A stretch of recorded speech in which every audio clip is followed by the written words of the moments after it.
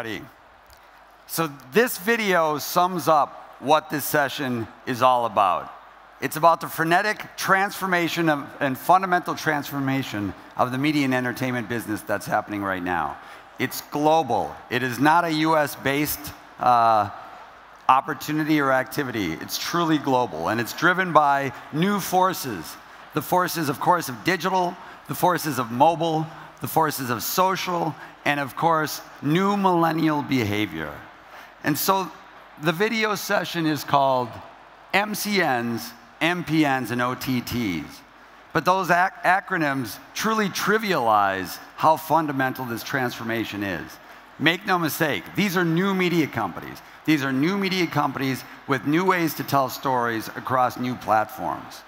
And the largest media companies of the world, like Disney, recognize smartly that they don't have the DNA to play in this new world order that's very mobile driven and millennial focused. So that's the fundamental reason that Disney went out and acquired one of the leading MCNs known as uh, Maker Studios for nearly $1 billion. So that's the kind of activity we're seeing in the space, and we'll talk about that today with our panelists. My name is Peter Csathy. I'm the CEO of Manatt Digital Media. I've been in the media and entertainment business for 25 years. Half my time has been with the major studios like Universal. Half my time has been in, as an entrepreneur, like many of you, building companies, raising companies, selling companies. I'm based in Los Angeles, where a lot of the activity is happening, but certainly not all of it. And we work very closely with media companies, multi-channel networks, and everything in between. We also invest to bring those opportunities to light. So that's a little bit of background. We'll start with the panel because we don't have that much time. And we have a great, uh, a great group of panelists, small, but it will give them a chance to talk. So you've already met uh, Malte. So Malte joined back on the stage. And I'd like to introduce you to Urs Cete, who's the managing partner of BDMI, the investment arm of media giant Bertelsmann. BDMI is one of the most prolific and successful investors in this overall, this new world order that I'm talking about, making acquisitions or investments in StyleHaul, one of the leading MCNs or the leading MCN for girls, fashion and beauty that was acquired by uh, Luxembourgian media giant RTL for well north of $100 million. And also an investor in, and I'll you, let you tell more, in uh, DramaFever that was acquired by SoftBank. So just a couple of the different investments. So Urs, give some more background about yourself and then uh, your view of the world since we both had a chance to give a little bit of ours. Sure. Uh, welcome everyone, thanks for having me. So uh, I'm Urs, as mentioned, I run Bertelsmann's venture fund. We're an early stage corporate VC, typically writing 500 to $5 million checks in early stage like A, B round companies. Um, and we're highly focused as an investor. Uh, we only invest in three themes, and one of them is online video, so a third of my time I spend in online video. The other two sectors are ad tech slash pub tech, how we call it, and next gen publishing, things like, you know, Mic Media, BuzzFeed, things like that. Um, so uh, you mentioned a couple of our online video investments, which was StyleHaul and DramaFever. We have a couple more uh, but let's talk a little bit about my view on the world and how do we end up investing in those. Um, so two and a half years ago, roughly, we decided that short form video was kind of important. We saw the usage grow on YouTube, and we decided to create one of our own kind of Lumascapes for the short form video ecosystem to find out whether there are any spaces that we particularly like or whether there are white spots that we think we should invest in. So we created the whole map from content production to consumption, laid out all the players, the, the horizontal MCNs like the makers and uh, uh, Fullscreen, the vertical MCNs which are focused on just one topic. StyleHaul for fashion was the one that we invested in, but there are others like mitú for Latinos or uh, GT Channel for automotive uh, fans, uh, and all the other players as well, like the agencies, the ad tech part. And uh, what we liked about the ecosystem is uh, we, as a fund, like the vertically focused ones more.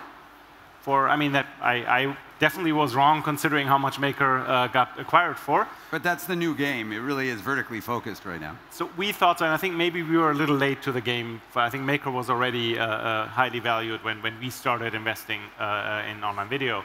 Um, so we like the vertical ones for multiple reasons. We think it's easier to, to exit a company that is vertically focused.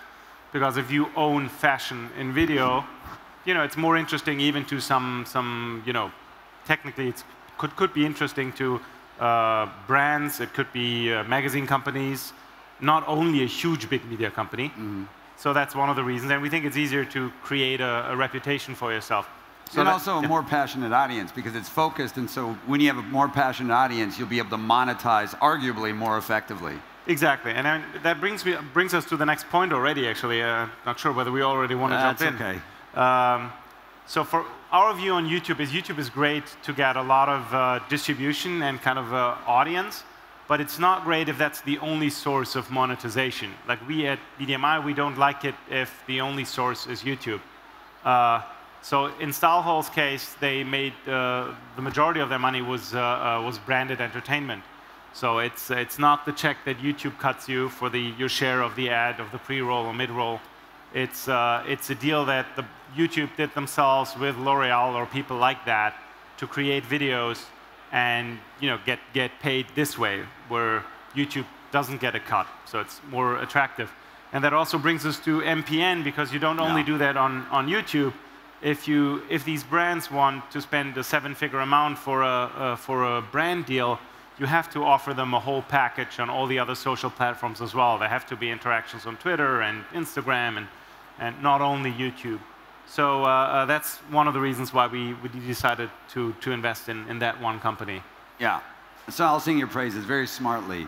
I'm going to step back for a second because I, we always assume that people know what MCN mean. Just by a show of hands, how many of you know what MCNs are? Okay, many don't, which is understandable. So multi-channel networks are really new media companies that, that have been originally built on top of YouTube, aggregating YouTube channels, typically under a mm-hmm. theme like fashion or beauty, so it's an organized uh, channel essentially, think or network, think of it that way, with a focused audience, so that there's more critical mass and advertisers can sell more. They can sell ads more effectively against that, higher CPM rates, um, some original programming, ultimately things like that. So that's what an MCN is. But originally, really built on top of YouTube and they've expanded, and we'll talk about that. But one of the really important things that Urs highlighted was that they're really no longer MCNs. That's a moniker that's not used that much anymore because we have all these new platforms. So in the last year, Facebook, Snapchat, all of these other platforms have become fundamentally important to these video creators. So that's why it's multi-platform networks rather than MCNs. So in any event, I'm going to get into some questions now, and, and I'll ask you first, Malte. In the last year and a half, we've had this continuing strings of significant exits from major MPNs. So originally, really the first one I believe that was of note was DreamWorks acquired Awesomeness TV for about $115 million ultimately. Then Disney, we talked about it, acquired uh, Maker for nearly a billion, ends up closer to 750 million. You know, why quibble over a quarter of, of a billion dollars? Otter Media then, which is a joint venture between Chernin Group and AT&T, acquired Fullscreen for 200 to 300 million dollars, and you're seeing a pattern here. And then RTL paid about 150 million, we think. ProSieben and Studio 71, they merged with Collective Digital Studio for a deal valued at 240 million dollars, roughly, including some cash. So my question, my question to you is, there are many skeptics who look at those numbers and they wonder how can those, and they call them lofty numbers, be justified and rationalized? I think the answer is in the graph I showed. Um, these, uh, at least half of the parties you mentioned, ProSieben, uh, for example, they are on the dotted line. Their en entire audience in their base business is plus 40 and it's getting older one year every year. So maybe uh, looking at looking at sort of the bottom line of these businesses, they're they're not worth the numbers. But this is not about acquiring uh, EBITs. This is about taking control of an audience to make sure you're still in business in 30 years. Yeah. No, that's an excellent point. Um, one of the things that when, when I speak with a number of the major US media companies, I hear all the time by a number of them, well, there's no proven business model. You know, there's not that. So we can't get into that space yet because we don't know. And my, my feeling is exactly that. Yeah. This is where the audience is. And, the Disney paying that uh, very big amount for Maker Studios, I think is the clearest example and it's also as so natural that that was the first one. Because Disney, being who they are, if they're not where the kids are, they're gone. yeah. And the kids obviously are not in cable television anymore. Absolutely. And Urs, so when you get an investment opportunity like a StyleHaul or something, how do you look at the business model and just what, what interests you as an investor? Well, I mean, for one, it's definitely unit economics, or is it, is it a business that could be profitable if you wanted to? Which sometimes, as a VC, you see business models that are, you know, gross margin negative, and even at high growth, and in 10 years, they're not going to show a lot of profit. So it, we are a little bit more conservative than some other VCs. I'm, I'm not necessarily banking on getting. I mean, I want to sell all of our companies as soon as possible with a high enough return. Uh, but uh, we don't bank on something where uh, even in five, six years down the road, there is no understanding that this is a real business. So Salho, for example, I think within three years, four years, they had a very nice double-digit million revenue uh, number. Of course, if you grow that fast, they were not profitable. I mean, that's, that's how you get to that, those huge uh, growth numbers. But when we look at a business, we want to understand the different lines of business that are in there. We want to understand the margin. And yes, as a VC, we accept that you lose money the first couple of years because that's how you grow that fast. But we want to understand that there is a positive business to be had in, the, in a going concern stage. Interesting. That, that's how we look at it. I'm, I'm, I'm sure you'll find VCs who are a little less focused on that. But you know, I have a so German parent company, so we're So you- you're, you're disciplined. So you believe that these new media companies, digital first media company, can be standalone, profitable, long-term oh, viable yes. businesses? oh yes. What are the revenue streams that are interesting to you? Because most are, I would say, most people who are fairly close to the business are skeptical of advertising. So what else is there? I mean, I, I mean, we as a fund, we are big fans of native or branded content. So definitely it's one yeah. that we like a lot. Multiple reasons for it. I mean, there, let's start with the negatives of it. Very often, if, if people talk about these branded campaigns, the scaling is the one issue with it. it it's, it's a lot of hand holding. The brand talks to you about what they want to create. You have to then either create the content or talk to your creators to produce it. Uh, then it has to typically has to be approved. And like it's, it's a big process. And if you have to do all this for, you know, a $20,000, $30,000 campaign, it's not really worth it. But I mean, in, in case, we saw that the number of clients who had seven-figure deals with them was like it was a, a, a big number of them. Actually, we don't. I don't think we have many other startups that that that reached uh, uh, that customer roster that quickly. Yeah. So, and if if you have a seven-figure deal, it's worth your time. It's worth hand-holding. You can actually hire someone to make sure that that one project goes goes through the way it should. So, so we still like branded content, and there are some other. So that was the negative, the scaling issue. The positive about branded content is uh, ad blockers don't block it. I mean, it's, it, it, speaks, it speaks the language of the generation.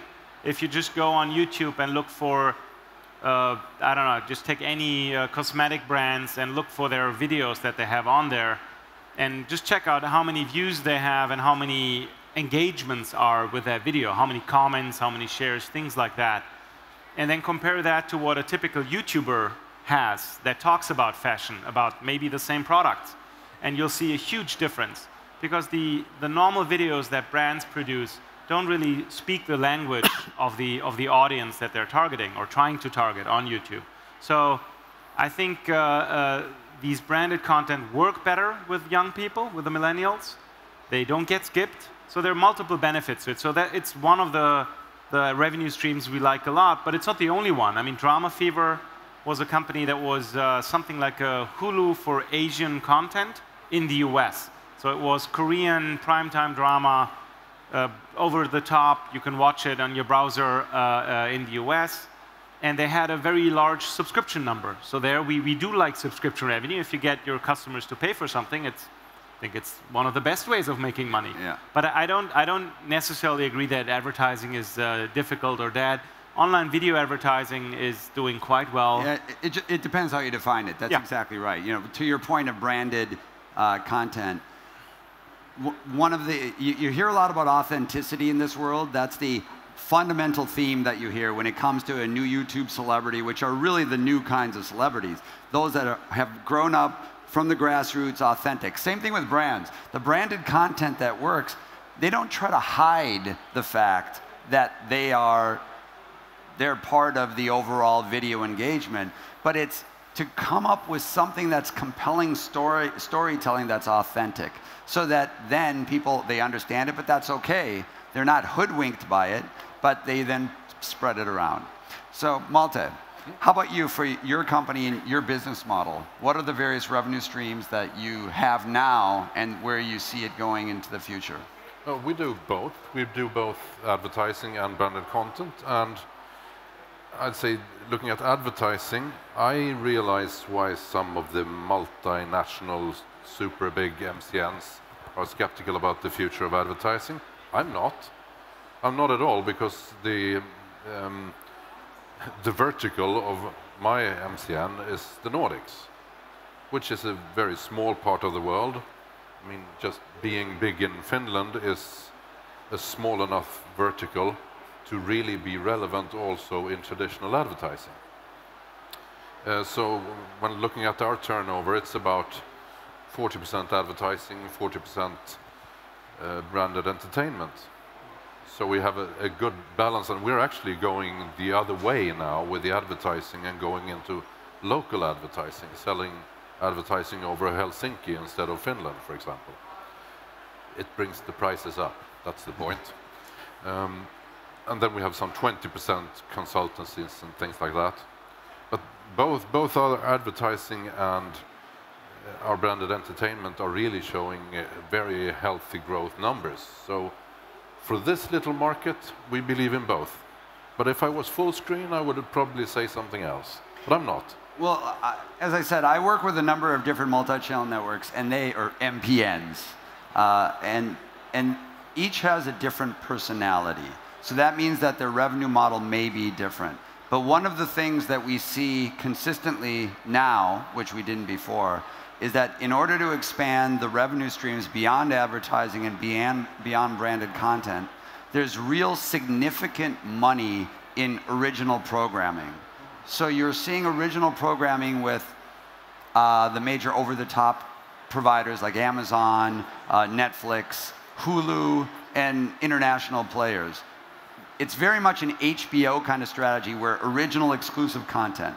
Well, you see the same thing that's happening now in, in, the, in the new media space of multi-platform networks, where I'll pick one that I know well, Whistle Sports, sports-focused MPN and they've created an, they're creating an original slate of programming for a very uh, for a new significant over-the-top provider in the United States from the major carrier Verizon, and that service is called Go90. They were in the video, and and Whistle Sports is getting paid millions of dollars in order to provide that content. So there's a significant new revenue stream in that regard, and you see that consistently.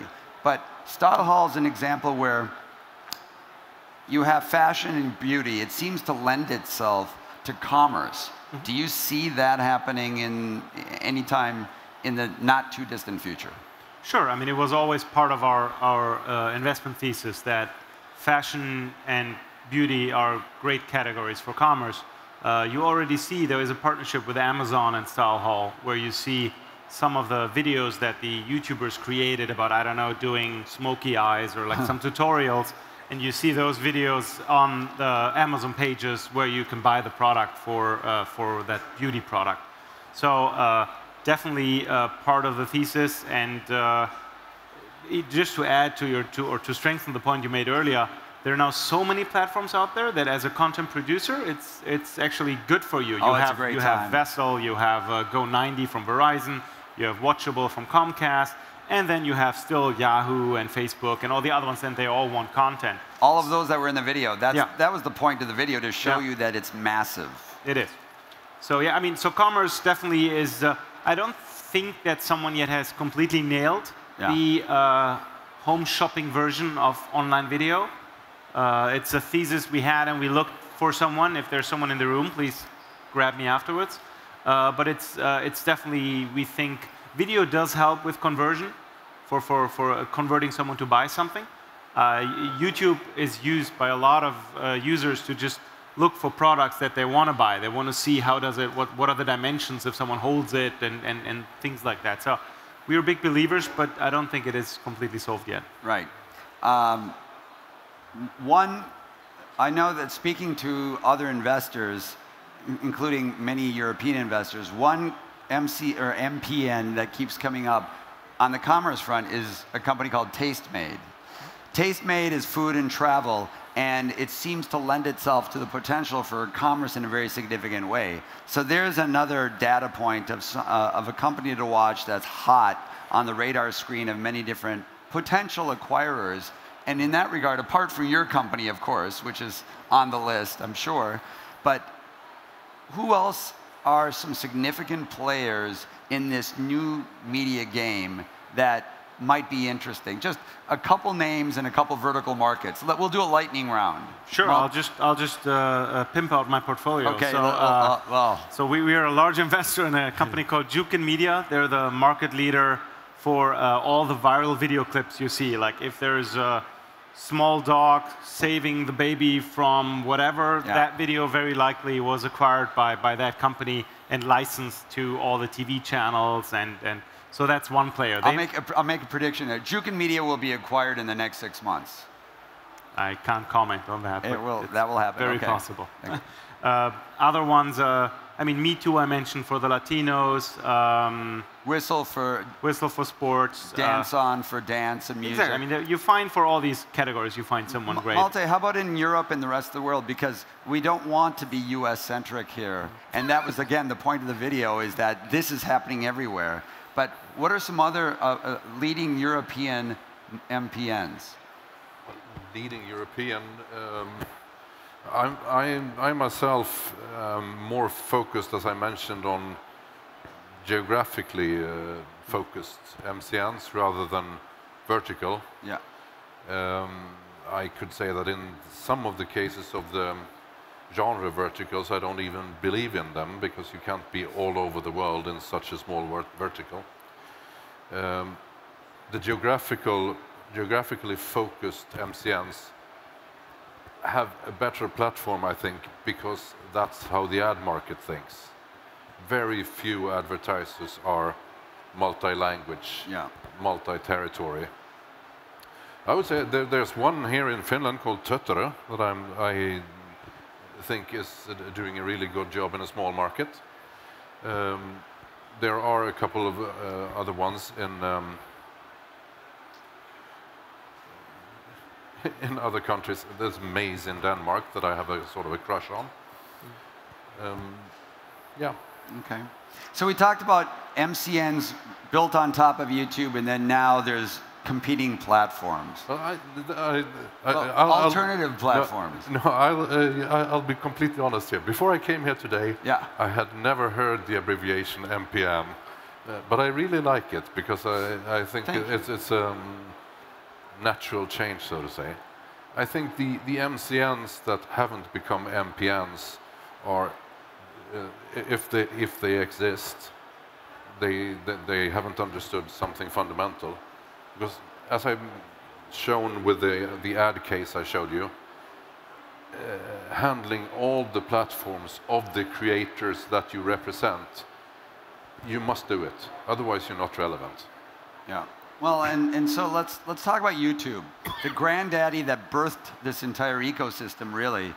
Um, and it's, it's frequently, I think, easily a target in the press and in the industry for its, its, its revenue splits and things like that, but it created the market. But given the fact that now there are alternative platforms, and just Facebook is probably the one that's most talked about, Snapchat increasingly, but a whole host of others, is YouTube threatened? Should YouTube, how should YouTube feel at this point? Well, uh, I mean, I, will take that, even though it's difficult, and I don't think I'm, I'm not representing YouTube or something. I, I think, That's why of course, every opinion. other big platform is, uh, I'm not sure I would say a threat, but it's definitely something they are monitoring. But to, to go back to your earlier point, YouTube got criticized a lot for the revenue split that they have. They're at least the first social platform I know that actually did write checks. Mm -hmm. I mean, mm-hmm. if you use, you, if you were on Twitter, you were on Facebook, and you produce content and people yeah. read that content, they read all your posts, you didn't get, get anything. Instagram doesn't write any checks yet. So I think criticism, whether the 45 split is, is, is reasonable, I think their argument is, hey, we bring the advertising, so it's a normal ad network charges also 30, 35%. And they say, and we do all the hosting and stuff on top. So I mean, I can see some of the argument, and I mean, the other ones, the big ones haven't yet announced publicly what their splits are. Right rumors are they surprisingly are very similar to what YouTube is charging. So I, I, don't think YouTube is necessarily threatened in terms of the, that the deals will be completely different. Um, but of course, I mean, if I'm a big platform and I see other platforms uh, growing quickly, I mean, if I look at our portfolio, uh, the number of video views they have on Facebook is growing tremendously fast, like at a, at a speed, I mean, much faster than YouTube was growing for yeah. them.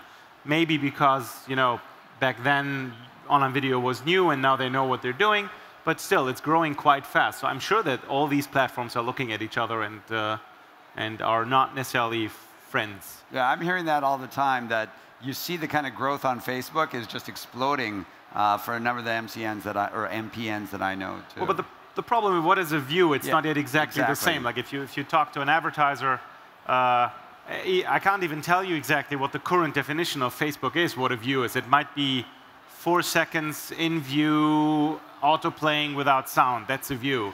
And I'm sure if you talk to a, a big brand like a L'Oreal or someone like that, I'm sure they would disagree that that's something they would want to pay for. They would want to pay for, I don't know, 80% completion of the whole thing with sound, full screen, or at least the majority of the screen. So I think the definitions are not out there yet for people to know what it is. So yes, the numbers are growing like crazy. Is it the same quality of a view? I don't know yet. I mean, I yeah. honestly don't know. Well, and that's another fundamental point here is that this is still a very new media landscape. That, so it's transforming itself all the time. So the rules of the game are not established. Uh, there's the revenue split, and I agree with you. Any platform is going to need to make money. So no matter what a split is, nobody's going to be happy with it all the time. So the rules are being, they will evolve over time with competition. And one example of that is that YouTube just recently announced YouTube Red and launched YouTube Red, which is a subscription-based service at $9.99, right? Mm -hmm. In the United States, it's $9.99 a month, which gives you an ad-free opportunity now, and it also gives original pro or exclusive programming behind the paywall. So there's a reaction that YouTube is having to better meet the needs of its audience, but certainly a reaction to what's going on into, in the overall ecosystem. So Malte, I want to talk about creators a little bit. So individual video creators, why do they come to you? What can you give them and how do they make money? Oh, that's, that's a fairly long list, but taking from the top of the list, uh, it's uh, better ad sales, um, help with copyrights, advice, education, but honestly, uh, the ad sales are a big part of it. Um, I could drone on for an hour about this, but I covered the, the biggest ones. So when it, but if a creator is looking at you, your company versus a competitor, how do you differentiate yourself? What's your pitch to them? That very much depends on who is this creator. Um, our, our ad sales are better than the other ones. that, that, that's just a fact.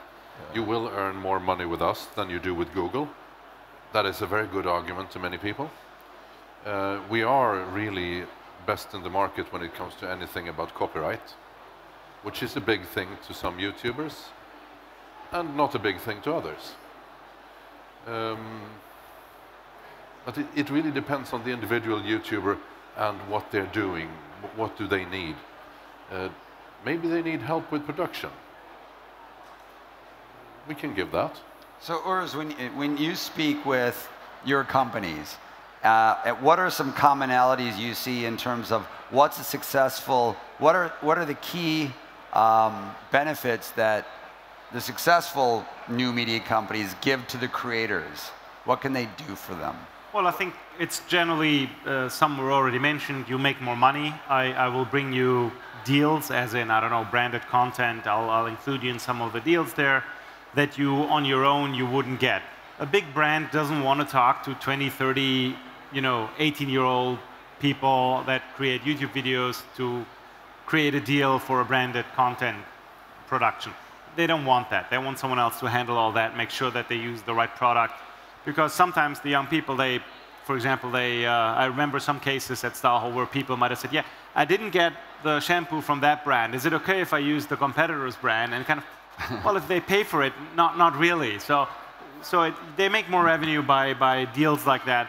And another big thing very often is that the YouTube creators want to get, uh, they want to grow. They want to have collaborations with other YouTube stars. Yeah. And then yeah. they kind of cross promote each other. And then if, you know, if a big YouTuber does a couple of videos with a new YouTube star and they, you know, work together, they link to each other's videos, you know, that grows the audience. So a lot of these people, I mean, I think I, would even say care more about their own profile and the growth of their, of their audience and revenue then is a close second right after that. Yeah. So I think those are the two things.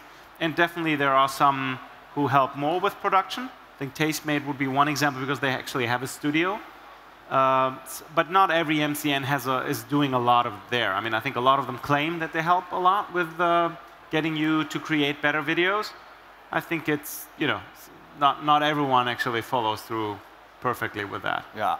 Now, for, for talent, you see, we talked a little, a little bit about the fact that um, these, these YouTube, and I'll use that as the ecosystem, these are the new celebrities for the teens, for the young people.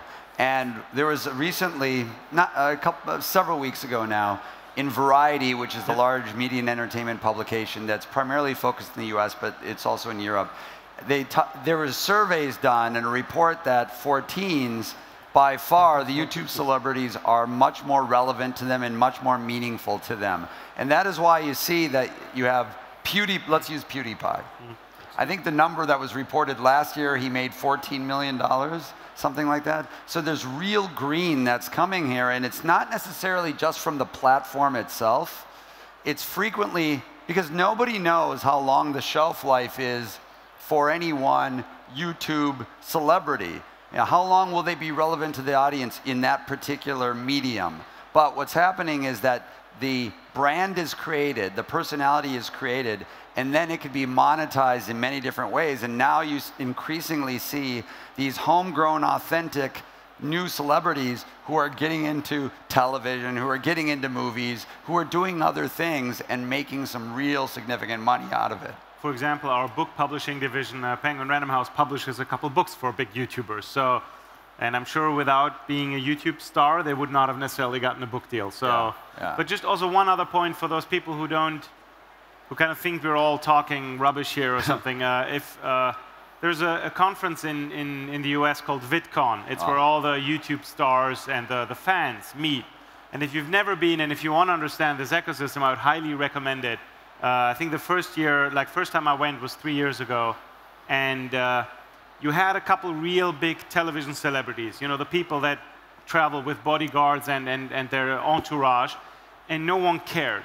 No one gave, uh, you know what I wanted to say. Uh, say it. No, an F. Say it. Uh, so there was a real big Hollywood star. He was walking and no one asked for an autograph, nothing.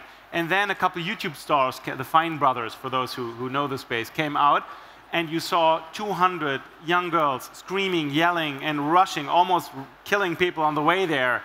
And so I told, uh, for example, our board that I amazing. think that it is something you have to experience. If you're old media, you, you don't get it. Like for the young people, you yeah. know, they don't really care that much about the old celebrity. And if you, once you experience it once, you see what kind of shift that is. Absolutely. I had the exact same experience when I went to VidCon. It's like Beatlemania over and over again. and it was insane. And even though I felt I somewhat understood the space, until you feel that, that's what's going on, and that's what the media companies need to see, and they need to move on that. Closer to home, there's TubeCon.